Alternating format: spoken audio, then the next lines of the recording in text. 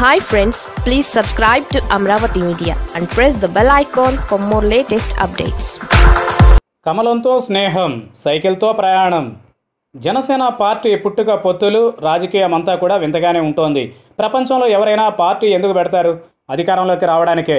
కానీ ప్రశ్నించడానికి ఒక పార్టీ పెట్టానని కొత్త భాష్యం చెప్పిన నాయకుడు పవన్ కళ్యాణ్ ఒక్కరే ఉంటారేమో.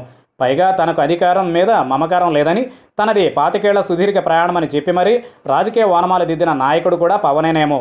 ఒక ఆరేళ్ళ రాజకీయ ప్రస్థానంలో ఆరేడు పార్టీలతో పొత్తులు నెరపిన చరిత్ర కూడా జనసేనదే. ఇప్పుడు పొత్తు పార్టీతో కలిసి అడుగులు వేయకుండా నిన్నటి మిత్రుడు టీడీపీ లైన్లో రాజకీయ ప్రయాణం చేయడము జనసేనాని పవన్ కళ్యాణ్లోని మరో కొత్త కోణం. ఏపీలో వైసీపీ సర్కార్ విషయంలో బీజేపీది దాని మిత్రుడు జనసేనానిది భిన్న వైఖరులుగా ఉంది. జగన్ని ఎంత విమర్శించినా కొన్ని విషయాల్లో మాత్రం బీజేపీ ఉన్నది ఉన్నట్లుగా మెచ్చుకున్న ఘటనలు ఉన్నాయి. ఇటీవల విశాఖ ఎల్జీ పాలిమర్స్ దుర్ఘటనలో బాధితులకు మరణించిన వారి కుటుంబాలకు కోటి రూపాయల భారీ పరిహారం ఇవ్వడమే కాదు. పది రోజుల్లోనే మొత్తం బాధితులందరికీ పరిహారం అందించిన జగన్ని బీజేపీ ఏపీ ప్రెసిడెంట్ కన్నా లక్ష్మీనారాయణ సైతం మెచ్చుకున్నారు. అదేవిధంగా పోతిరెడ్డిపాడు ఎత్తిపోతల పథకం సామర్థ్యం పెంచుతూ జగన్ సర్కార్ జారీ చేసిన జీవో రెండు వందల మూడు విషయంలో కూడా బీజేపీ మద్దతు ఇవ్వడమే కాదు రాయలసీమకు మేలు చేయాలని గట్టిగా కోరింది. ఈ రెండు విషయాల్లో టీడీపీ ఎలా వ్యవహరించిందో అందరికీ తెలుసు.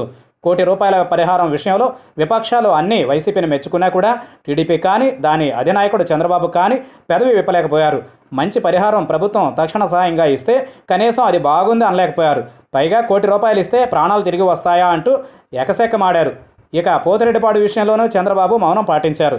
ఇక జనసేనాని పవన్ కళ్యాణ్ది కూడా అదే రూటుగా ఉంది. సాయం చేసిన సర్కార్ని మెచ్చుకుని పని చేయని చోట విమర్శలు చేస్తే వాటికి ఒక విలువ ఉండేది. మంచిని మెచ్చకుండా అదే పనిగా విమర్శలు చేస్తే జనం మెచ్చరు సరికదా? కక్ష అనుకుంటారు. చంద్రబాబుది అదే అని భావిస్తున్న జనం పవన్ కళ్యాణ్ కూడా అదే రూట్లో వెళుతున్నట్లుగా గట్టిగా నమ్ముతున్నారు. నిజానికి జనవరి నెలలో జనసేన బీజేపీల మధ్య పొత్తు కుదిరింది. కానీ ఈ రెండు పార్టీలు కనీసం ఉమ్మడి కార్యక్రమం పెట్టుకొని ఇప్పటిదాకా చేసిన ఒక్క ఉద్యమం లేదు. అమరావతి రాజధాని విషయం నుంచి అన్నింట రెండు పార్టీలది భిన్న ధోరణే. వికేంద్రీకరణకు బీజేపీ మద్దతు ఇస్తే అమరావతి ఒక్కటే రాజధాని కావాలని పవన్ కళ్యాణ్ చంద్రబాబు పార్టీ వాయిస్ వినిపిస్తూ వచ్చారు. ఇక ఏపీలో జగన్ సర్కార్ చేస్తున్న మంచి పనులను కూడా స్వాగతించలేని అసహనంతో పవన్ కళ్యాణ్ ఉన్నాడని విశ్లేషణలు ఉన్నాయి. రెండు వేల ఇరవై నాలుగులో రెండు పార్టీలు కలిసి అధికారంలోకి వస్తామని చెప్పిన పవన్ కళ్యాణ్ కనీసం పొత్తు పార్టీ బాటలో నడవాలన్న ఆలోచన చేయకపోవడమే విడ్డూరమే.